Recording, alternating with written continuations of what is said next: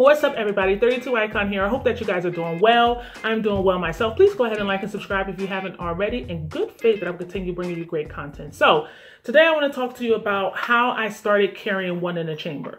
So this gun, for safety purposes, is uh, unloaded and the magazine is over here. I don't even have the magazine there.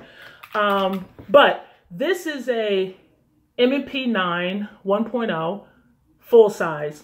And this was the very first gun that I purchased. This, I probably had this about, I don't know, over a year and a half now. It has about 4,000 rounds through it. This is my baby. I love it. When I purchased it, I wanted something that was going to help me even the playing field against evil and also be able to go to the range and plink a little bit if I wanted to or enter a couple of uh, steel plate competitions, which I've only done like one or two, but it was pretty fun. But anyway, so this is what I ended up purchasing. And when deciding to carry one in the chamber, I watched a lot of videos and I said, well, you know, I'm a newbie. I don't know if it's, if I can carry one in the chamber. I don't know if that's for more experienced people. But then I started watching active self-protection and you would see all these videos, real life videos where people were being attacked, walking their dogs, going to the bank, um, getting into their cars, having dinner, literally eating and having dinner. And rarely was there a time to rack it and get one in the chamber and then go into battle. Usually it had to be ready or um, the bad guys had to jump on you. So, you know, in real life, crime doesn't knock on the door and say, hey, we'll be there in three seconds and three, two, one. It just, it just happens. You have to be ready. So, so I said, okay, I'm going to carry um, in condition one. I'm definitely going to you know, make sure that I'm ready if, if that ever happens. And um, I'm going to watch some videos and help myself prepare. So that's what I did. I didn't immediately put one in the chamber. What I did was I carried this gun around and my holster empty. I just put it on my hip. I wanted to be careful just carrying a gun. I've never done that before. I was a newbie and that was that was eye-opening for me. Then I moved on to loading the magazine and just carrying it loaded. And that's what I did for the longest. I just loaded the magazine. I didn't chamber around. I just left it loaded and I put it in the um, holster and I put it on my hip. And I think I did that for about four months. And in that four months, I will go outside and I would condition my mind to say, okay, listen, Liv, you know, if I ever have to use this, I don't plan on it, but if I ever have to use this, rack it first, rack it first, rack it first, rack it first. And I will actually practice in the home before I will leave. Okay, draw rack, draw rack, draw rack. And I realized I was like, okay, that is, that's a lot. You know, that's, I have to make sure that I'm ready.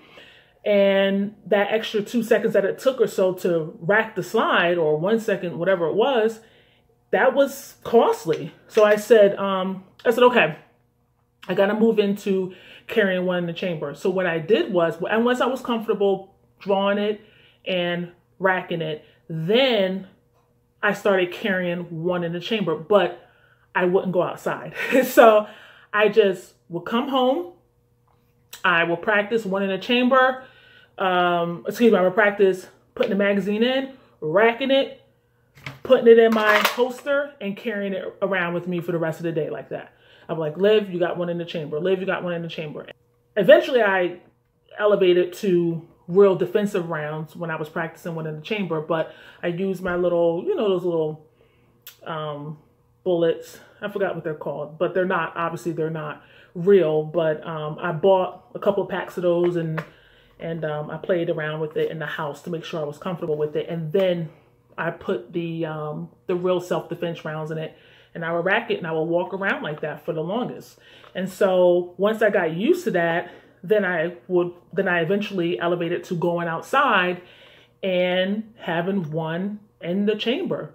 And then it became second nature for me. But it was a process. I didn't just wake up one day and realize, okay, I need one in the chamber. I practice it. I again, I um just carried it empty then I elevated it to carrying with a magazine in and practicing around the house and um, practicing racking it after I drew my pistol. And then I elevated that to um, putting the magazine in and having one in the chamber walking around the house like that for a few months. And then I was able and comfortable enough to go outside. But it took a while to get there. I didn't just get there. It, it took some time.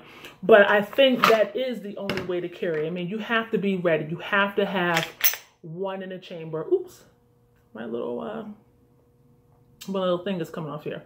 But you absolutely have to have one in the chamber and be ready to go because if not, you're going to be sorely mistaken if you think that pulling it, pulling out your gun, racking it is going to give you enough time. And honestly, it, you know what? It may, it may give you enough time, but I don't want to chance it.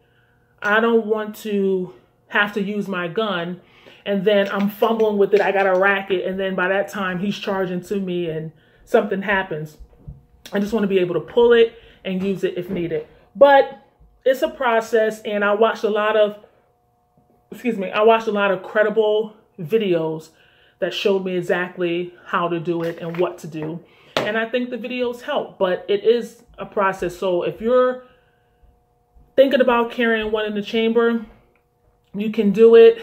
It is a process, but personally, I think it's the only way to carry, especially nowadays. People are crazy. You just never know when you're going to, you know, face evil. And even if it's not people, there are a lot of people out here that have stray dogs and have dogs that aren't on chains and they're pretty vicious. And, you know, I, I'm not advocating, I'm not advocating killing any animal. What I'm saying is that there are a lot of vicious dogs out here. In fact, my father, my father lives next to a neighbor who has a pit bull and that pit bull is never on a chain and is always is, is fenced in but sometimes when you go visit you have to go through that fence and he is crazy and we've you know we've gotten on the owners next door to say hey your dog is out of control what if that dog jumps that fence you know and i'm just saying you have to have protection i don't want to you know i don't want to offend anyone and i'm, I'm trying to be careful about how i say it but at the end of the day if your life is on the line and you need to pull that gun against something or someone, then that's just the way it is. But I think condition one will um will probably be the best bet. Okay. So I hope that helps someone. That's just how I got started to carrying one in the chamber. And, um, you know, feel free to tell me your story, okay? I hope you enjoyed this video. Please go ahead and like and subscribe if you haven't already. And I will see you on the next video. Thanks. Peace.